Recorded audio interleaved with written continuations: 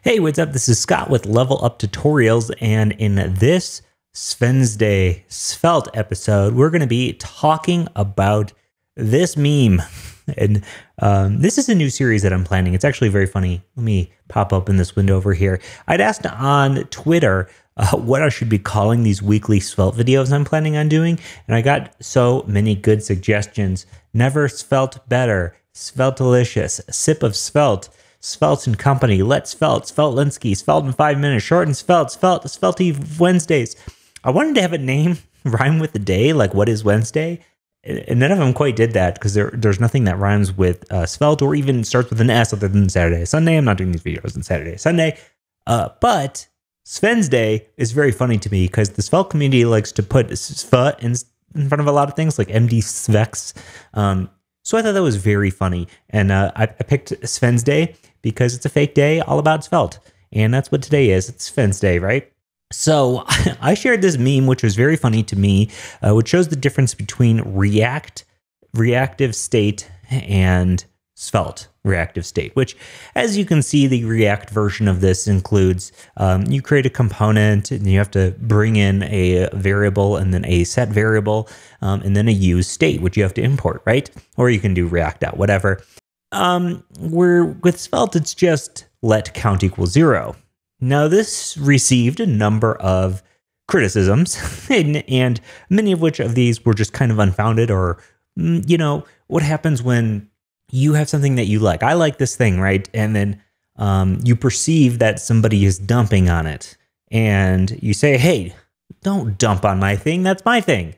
You know, I'm not dumping on your thing by posting this. I'm not dumping on anything. In fact, I I like React and I love Svelte. And so I wanted to share this because this is very accurate.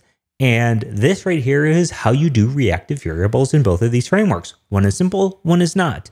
Now, again, the criticisms of this, of which I'm going to get into in this video, they all kind of revolve around a few things, many of which talk about magic. And uh, I'll talk about magic in this video a little bit. But this thing has made it very apparent that people just use the word magic to mean whatever they want. They don't really think about what is actually magic in programming. Because let's take a look at these two these two code examples here. One of which is a UI variable. Okay? This UI variable is created and updated via a function. Now, in one of these situations, you call a function that updates a variable that updates the UI. In the other one, you update a variable that updates the UI. Which one of those is more magical? The answer is neither of them. They're both the same amount of magic, right? One of them, it calls a function that updates a variable that updates the UI. How does it update the UI? The render cycle. In Svelte, you update a variable that updates the UI. How does it update the UI? The render cycle. Um, and now a lot of these criticisms will say, well, I expect it, you know, I expect side effects when I'm using a function.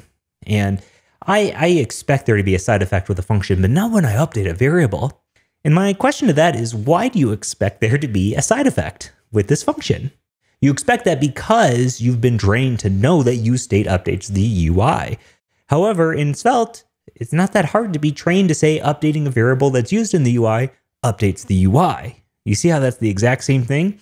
Just because you expect there to be a side effect doesn't mean that there always is a side effect. I mean, if you write a normal JavaScript function, are you just expecting side effects in that thing? No, unless you write them yourself, you're not you're not expecting there to be side effects.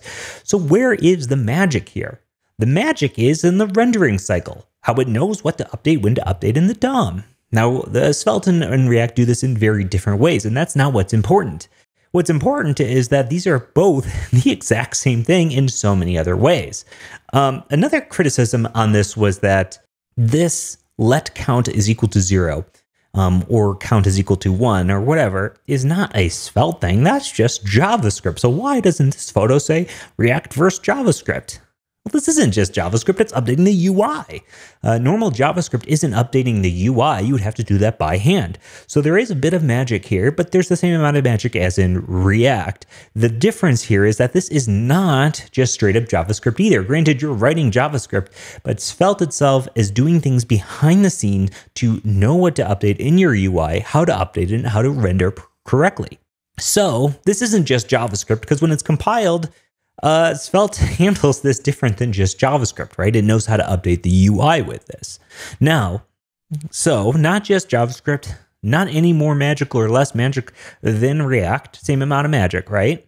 Um, there were some other criticisms. Now, Michael Jackson probably had the best note here. And Michael, Michael, if you're not familiar with him, he has worked on React Router, Remix, a ton of great products. He uh, projects. He is an absolute uh, beast in this industry and in this development scene. Um, and he had this really great criticism or or thought that was like, well, the cool thing about React hooks is that you can compose them. You can create your own React hooks. You can make new React hooks out of those. And that can be a killer feature of this use state. Now, my argument to that is really that there's nothing preventing you from doing that exact same thing in Svelte. Here, we have a couple of examples. One of which is we have a very simple a very simple UI state, which is just let is modal is equal to true. This is not something you can do in React. You have to create a use state. However, I'd argue that much of our UI state that we're writing is simple things like this, booleans, toggles, those types of things. And in React, you always have to reach for a use state to do that, which is this robust thing compared to just setting a variable and updating it, right? But the cool thing about Svelte is that if you want the robust composable state, you can have that too. Uh, you can have both of these at no cost to you because it's built into the framework. And in fact, this example shows you if a writable store, I didn't write this code, this code just exists. Um, but we have a writable store. Yeah, okay, is open, is equal to use toggle true does this look familiar to you? Because this looks familiar to me. And then likewise, let's go ahead and make another one of these. Like is open new.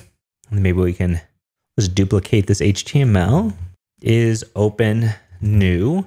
And then toggle is open new dot toggle. We can click it. And we now have two separate independent variables that are via state, just like how you have with use state. And we did this via the writable uh, store within Svelte. And you can use this to have as much custom logic inside of a store, a store as you want to have. And to me, this is saying like, you know, if we want very simple UI state, it's as simple as defining that state. And if we want composable, complex, or more in-depth state, we have those tools too. And that's what I like so much about Svelte because the React land is saying, you know what, are things complex? Deal with it. And that's okay but I prefer the simple version if I can get it because it's that much more readable. And it's it's it's a little thing, but you end up writing so much state in your application that let mo is modal equals to true. Oh yeah, that feels great. It's readable and you can understand exactly what's going on. So that's a big thing too, right? Um, now, what's another criticism of this? Another criticism of this was uh, not even re- one is not even related to this this meme I shared. The meme I shared was simply about reactive state in Svelte and React. How simple it is to have a simple reactive variable in Svelte versus React. That's it. And you got a ton of people being like, oh, yeah, well, what about this in Vue and that in Vue, or this in Svelte and that in Svelte, or this in React and that in React, right? That's not what this is about. One, that's not what this is about at all. But two, uh, many of those complaints were around the templating language of Svelte. And that one I do want to address directly because we have if is open, show me, and if. Now, what exactly is the difference between that and if is open, ampersand, ampersand? And we could throw a fragment in here for just to make the point extra clear. Just to make, even though this isn't exactly how you would write this component in React, let's just make this extra clear. What's the difference between this and this?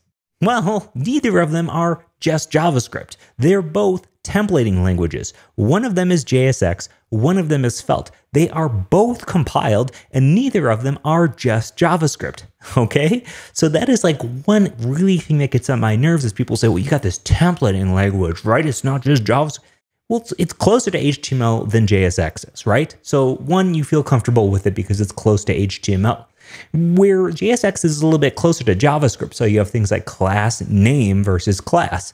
Now, I obviously prefer the thing that's closer to HTML because I spent most of my career writing HTML. But I understand why people would like JSX better. But let's not kid ourselves and say that JSX is just JavaScript and not a templating language because it is absolutely a compiled templating language.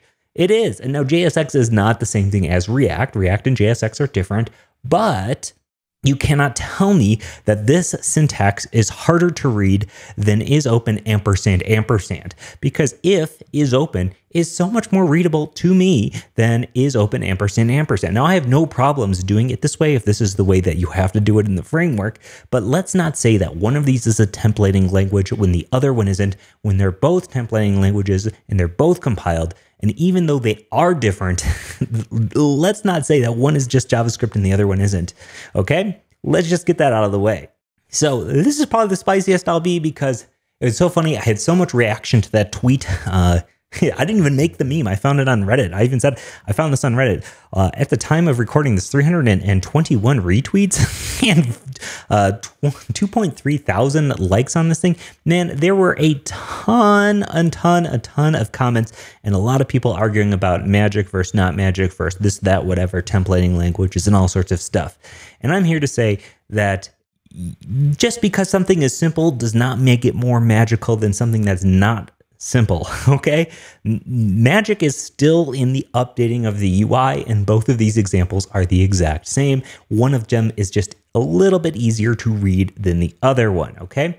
Now, that's not to say that there isn't a much larger conversation to be had over Svelte versus React. There's a big conversation to be had there about the pros and cons of each. But let me just say that I love working in Svelte and I have written some big projects in it and it absolutely scales along with any sort of state that you might have uh, thoughts about. You can do state exactly the same in React if you love those over engineering uh, reducers and all that stuff. If you love it, you can do it in Svelte too. Okay, so uh, we also get simple stuff in Svelte as well. And again, let me just say, I don't hate React. I don't even dislike React. I love React. In fact, I love React so much I've written a ton of tutorial courses on it.